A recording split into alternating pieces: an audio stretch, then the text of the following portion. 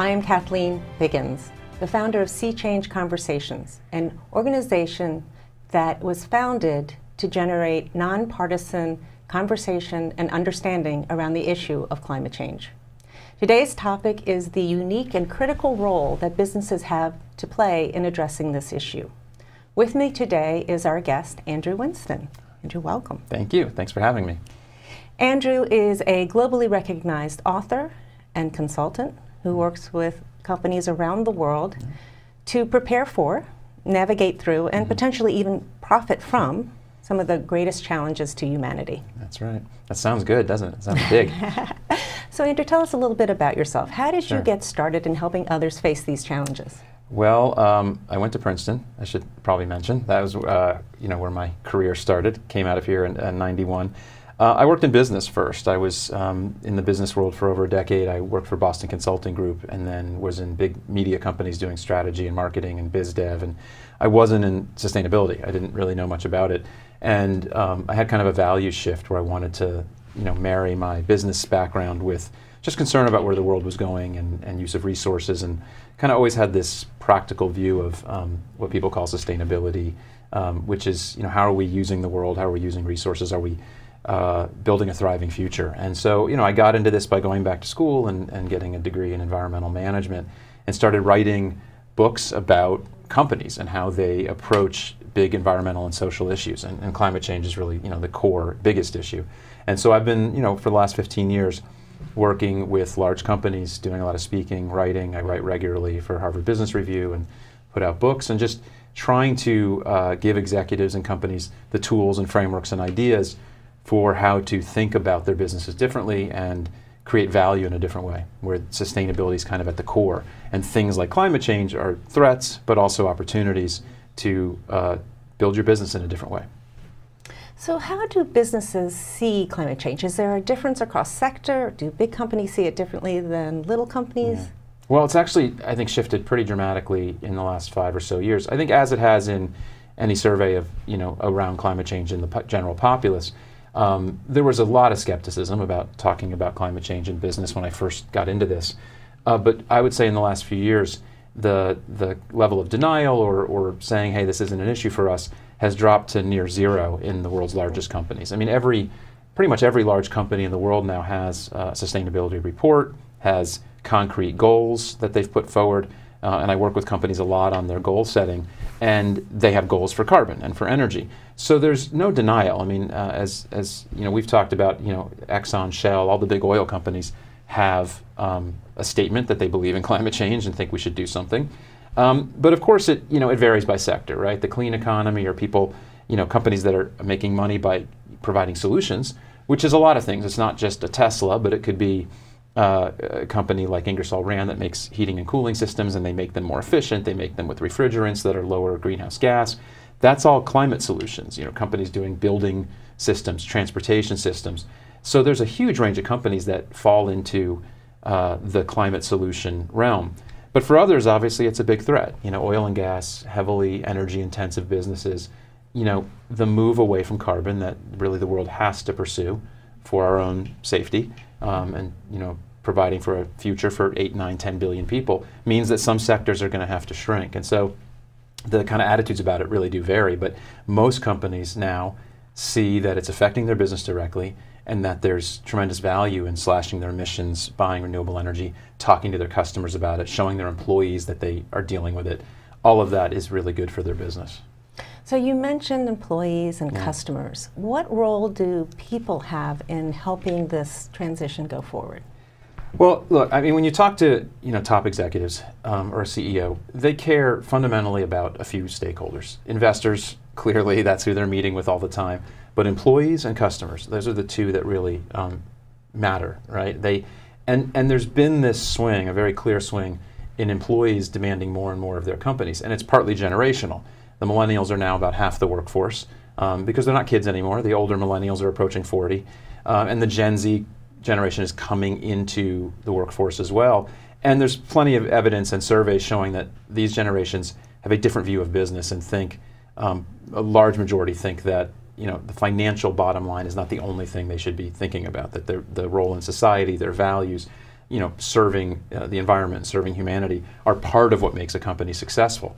So, you know, executives are hearing that. So employees have, a, I think, a very big role. And when I hear even skeptical kind of companies, they do believe their employees care, and that really drives them. And then, of course, you know, consumers and, and customers, you know, business to business customers, they matter. Where are they putting their dollars? What, the, what are the choices they're making? And you see markets shifting. You know, there's a shift, particularly in the food arena, to much more sustainable products um, that's driven by consumer demand. And there's a rising um, interest from consumers to know more about every product, know what's in it, and it's called the clean label movement often. They want to know what's in it, they want to know the footprint of it, how much carbon, how much water, who made it, where they paid a living wage, you know. We want that information about products now, and that's driving, I think, a lot of change in business. So, uh, yes, I mean, consumers and employees, we, we have a role, all of us, in how we choose to spend our dollars and who we work for and what we demand of our employers. All of that creates important pressure.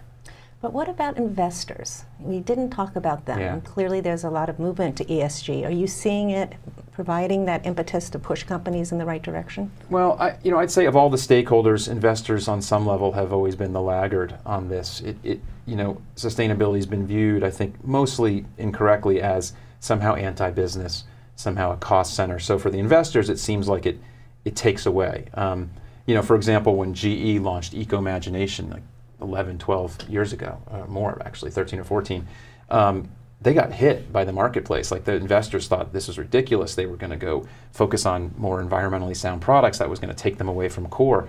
That's changed. You, you, don't see companies getting hit for that as much.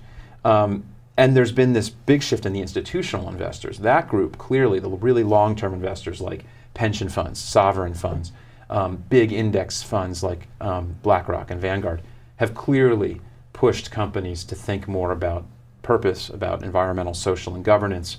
Um, and they've made that very clear that this has to be part of their thinking.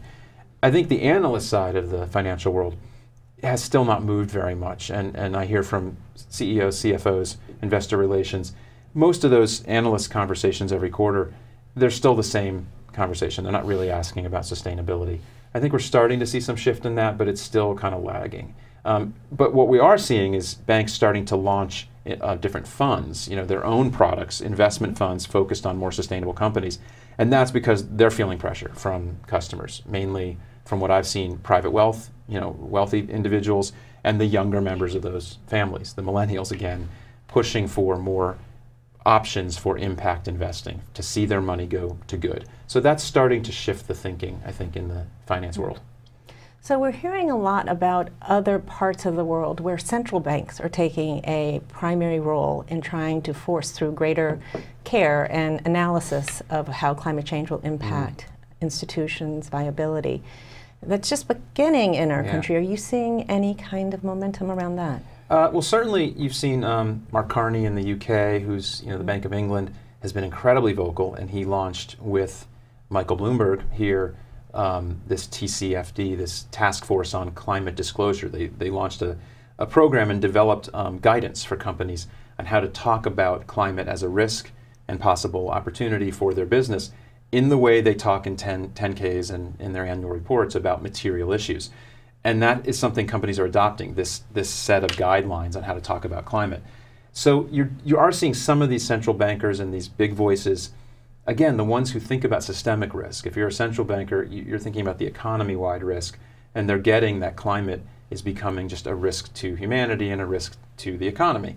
Um, I, I, don't know if we're seeing it as much in the U.S. I think you know, uh, you know, we're not at a place where the Fed is really worried about this too much. Um, but I think it will become a bigger issue. As I said, the institutional investors, maybe at the state level, uh, certainly are asking more and more questions. So it's it's shifting. It is it is beginning.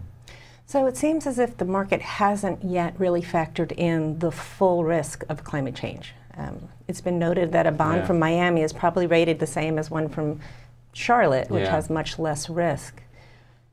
Can investors protect themselves hmm. when it's not transparent at this time? That's a really interesting question. I think I think the bond issue, it, it, could shift. I know Moody's has has put out public statements saying um, cities need to have kind of climate and resilience plans, and they will change their, they could change their ratings. They've said some of this to companies in private as well. Um, but it's true. We're not really pricing in just yet. Um, I think it's like it's hard for investors to know where the risks are, but I think you're going to see you know some kind of natural shift in where assets go, where investment is. I think you know property values in Miami Beach are going to start to fall as people think the future is going to be difficult for them. And so you'll see it in certain markets like real estate. I think they'll natural, naturally be pricing. And part of that will be built in because the insurance companies, you know, they have a big role in what, what assets are valuable. If they, they're, they're not going to um, insure some of these properties anymore, which right. makes them much less valuable.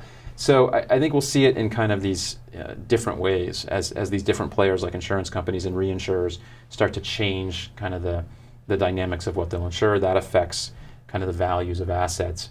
But you're right, it's not particularly priced in. I think this is why, you know, something like a price on carbon is so critical um, to moving the economy and moving the, the world at a fast enough pace, because then you start to price it into everything. Carbon intensive things cost more, cleaner things cost less. That's how you, you know, start to have a, a sense of where you should be putting your money.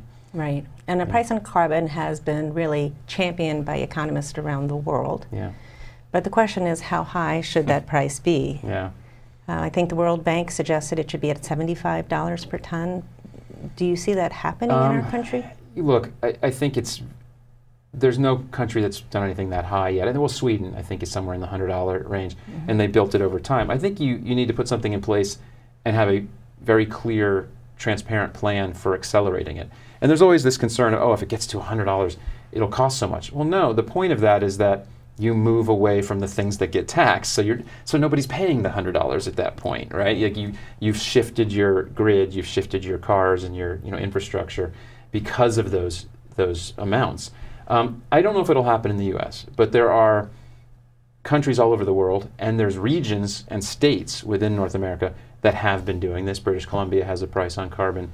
There's you know trading schemes among states and subnational players China's got a price in, in parts of their economy. So it's growing in different places. The number does have to be high. I mean, let's let's be honest. The the the social cost of carbon that people use is something like 75, 100. That really encapsulates all the damage it does to our health and to our future ability to thrive. So it would need to be high, but you don't do that immediately. You start it and you ramp it up. But the longer we wait, the closer we get to some of these kind of deadline dates on how much carbon we need to cut from the world, the faster we're going to have to go and the more painful it's going to be. Right? So we've been delaying so long that the, the, the timeline's getting more and more accelerated. So the, that argument of it's too expensive to deal with now, keep the economy strong and let future generations handle it, yeah. seems to be losing some steam as the yeah. evidence is more clear around us. It, it seems as if there's a lot of discussion now about the cost of inaction. Yeah. As you talk about these social costs, the greater chances of these natural disasters is indeed getting to be much greater than the cost of action. Right. Are companies recognizing this as well? Yeah, I think they, they are starting to realize that because they're getting hit directly. And it is true. I mean, there's been this statement that it's, it's going to destroy the economy to do something on climate or to price carbon. And really, it's very clear what's going to destroy economies is doing nothing and getting worse. And there's been banks. This isn't statements from Greenpeace. You know, Citibank did a, a report you know, four or five years ago that laid out the cost to the economy, tens of trillions if we don't tackle carbon, the cost of moving towards a clean economy, and it was actually cheaper to do a clean economy than a than a dirty economy, which means the payoff was actually infinite. It was cheaper to then save the tens of trillions. I mean, I remember my math and ec- economics from Princeton. If you have a zero in the denominator, it's you know it's an infinite return. But anyways, I think companies are seeing this. They're feeling the pain. Uh, AT&T is a good example where they put out um, an estimate of I think 870 million dollars that they spent um, related to extreme weather over the last few years. Mm. That's assets being hit by storms, floods, whatever. And so they set out with Argonne Laboratories. Um, they went and got some really smart guys on the outside and said, let's map out what we think sea level will look like in 30 years under different scenarios they, they kind of leaned in and focused in on like southeast, um, the south, southeastern states, and they mapped out, for example, like in Savannah, Georgia, if sea level's this high, and they mapped their assets, their cell towers, their wires, a lot of them will be underwater, right? So this is a very real cost for them that they're laying out and getting prepared for, and they're already feeling it. So I think, yes, companies are starting to realize that this is getting very expensive. Um, and so the idea that it will be too expensive to do something is becoming kind of ridiculous. So let's drill down on some of the threats that your clients around the country Yeah. or around the world are seeing. Clearly, you mentioned physical threats, but it's Yeah. not just sea level rise. What are some of the other ones that companies are preparing for? Well, I think the, I think a lot of the risks that they worry about are certainly to assets, right? And um, and that's not just floods; that's just storms, droughts. I think water issues, water shortages are a, a deep concern. So you see companies um, setting goals and, and taking action to understand where their assets and offices overlap with water stressed regions and what that means, and especially businesses like beverage companies that w- rely on water literally for their product. Um, there's risk in the supply chain. Often a company can say, okay, we're not in water stressed areas, but then you start looking at key supply chain um, steps or, or points in their supply chain. There was a kind of famous moment when there was big floods in, in Thailand um, a few years back, and the two industries um, discovered that they had a couple key components that that was basically where the only place they made them. It was hard drives and some of the automakers, and they lost hundreds of millions of dollars because part of getting lean and efficient over all these years has been like you, you almost like it's like monoculture in, in um, agriculture. You do this in your supply chain. One place makes everything cheap, but if that place gets flooded or, or droughted or whatever, your whole business shuts down for a while. So it, it isn't just the floods, it is the droughts, it's hurricanes. Um, and a lot of companies are concerned and looking at the effects on their employees and communities and what happens in these places where there's, you know, huge shutdowns of power and, and fires and floods. So it, it, it's just, it's like all extreme weather, right? And it creates enormous risk for their operations, for stores being shut down because everybody's got to get off the road or get, has to evacuate an area. That's just kills business. So it's all of it. I think it's every kind of extreme weather you can imagine is, is on the radar now. So we've often talked about the physical risks, but it seems like there's also this reputational risk, which we touched on a bit. Yeah. Um, it seems like there's perhaps more pressure abroad where there's things like flight shame for Yeah, people yeah. who take a flight. Are we seeing a little more of that here? Uh, I think we may not have flight shame quite as much, but there is there is clearly um, something happening where companies, you know, are feeling the need to talk about their purpose. I mean, almost every CEO, big companies, we have a purpose, and talking about sustainability. And if you saw a few months back where the Business Roundtable put out their big statement with the 200 CEOs of the basically the Fortune 200, and said, "We're not just about shareholder primacy; we're about stakeholders." to be cynical, they must see the benefit or the need to say that. It can't just be because they feel like, you know, saying how great customers are. It, they're feeling that pressure, right? And so there is reputational risk. Is uh, as I mentioned before, it's not just you know uh, your brand in the marketplace. It's reputational risk amongst amongst potential and current employees. I think that the the attraction and retention of talent is such a big deal in so many sectors that you need a good reputation as a company that someone wants to work for. And yes, and, you know, as a brand for a company to buy from, that of course always matters.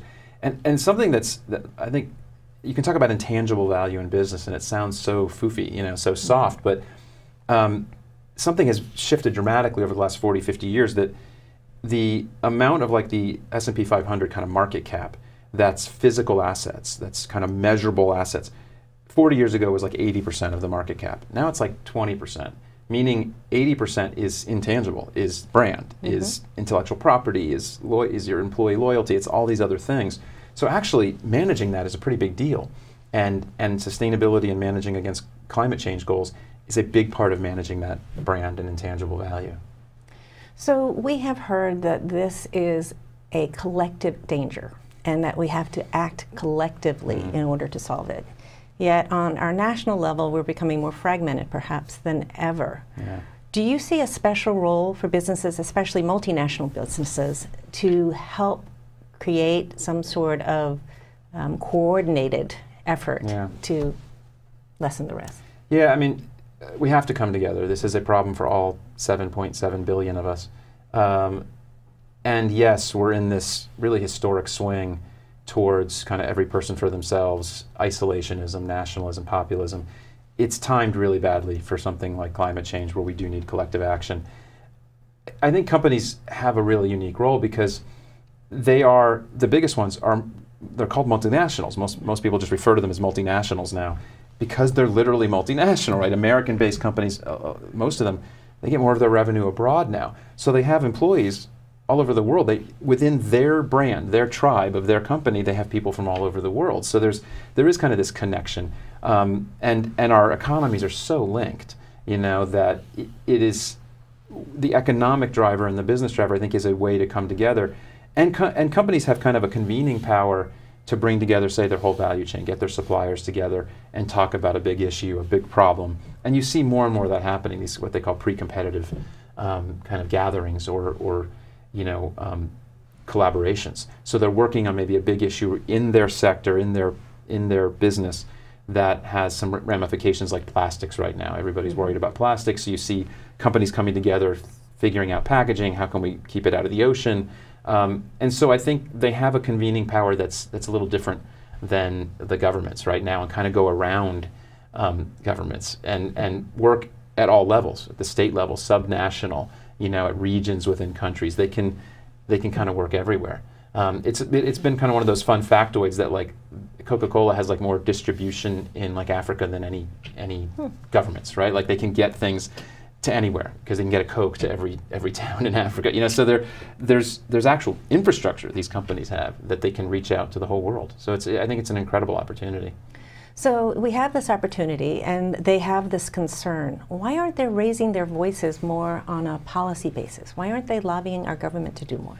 Yeah, it's it's an important question and it's come up lately. In in my book, The Big Pivot, I you know said become a climate lobbyist, and it was um, not something companies were comfortable with, and they're still not. A few years later, but it's becoming a topic, and and it's something I'm writing about a lot more.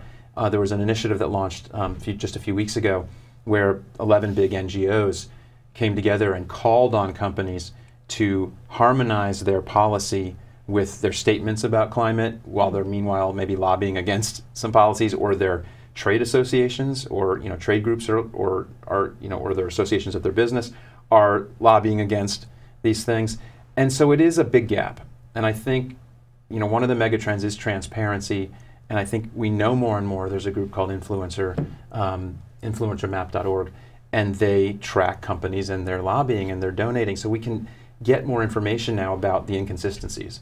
And I think, again, employees will find that less and less um, acceptable. And, and they're calling out their CEOs about it. Um, 8,000 employees at Amazon wrote an open letter on Medium saying, hey, Jeff Bezos, we need a climate policy and you got to stop, you know, trying to build more and more business with the oil and gas industry and, you know, fighting regulation. Like, they called them out on all this stuff. So I, I think companies are going to be asked more and more questions about their lobbying, and they've been hesitant on climate for a lot of very complicated reasons. I think it's become a kind of political football where they feel like somehow they're siding with one party if they're pro climate. But companies have been not reticent about chiming in on topics I would have thought were much tougher, like trans bathroom bills in states, LGBT rights in general, immigration, gun control you got companies coming out and pushing for policy, changing their own policies on very contentious issues. So why not climate? Why can't they make that jump? So as you look at this landscape, and obviously you're going around the world, what is it that you're most concerned about? What worries so you many at night? things. Yeah, people ask me that. What keeps me up at night? Um, look, there's a couple dimensions to it. There's just the physical reality of climate change that's hard not to be worried about and hard not to be uh, frankly sad about. There's this idea of climate grief that people are dealing with. I've written about it.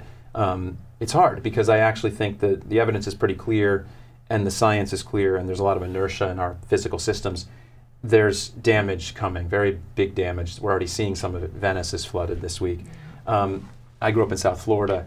I think the odds that Miami is, is fully inhabitable in 30 years is low. Um, I think we're going to lose regions. We're going to lose the coral. It looks like the coral is mostly going to die, which is an important ecosystem. We're losing species. So there's stuff that just keeps me up because we're going to lose parts of our kind of rich environment, our rich world. Um, but I, I, do think we're going to make it. We're going to kind of come back. We're going to we're going to stop some of that damage as fast as we can. But it does worry me this inability to collaborate, this um, this isolationism that we feel not just country to country, but within our you know, within our country in particular, these kind of bubbles that, that we're all in, and we're not communicating. When this really is a, a very collaborative issue that we have to deal with. It, it, it, it's what make it's what makes climate change the hardest issue I think humanity's ever faced because it is if you were going to design something given our psychology to make it difficult to tackle you would it would be climate change. It's it's long term you can't see it physically a lot of the time it's invisible you know it's respon- it's a responsibility of everybody all of us have a role. Um, it's very different than like the ozone problem where there were like five companies that made these chemicals. You could fix that you could help fix the ozone. This is everybody. And so that worries me that it's so diffuse it's so hard.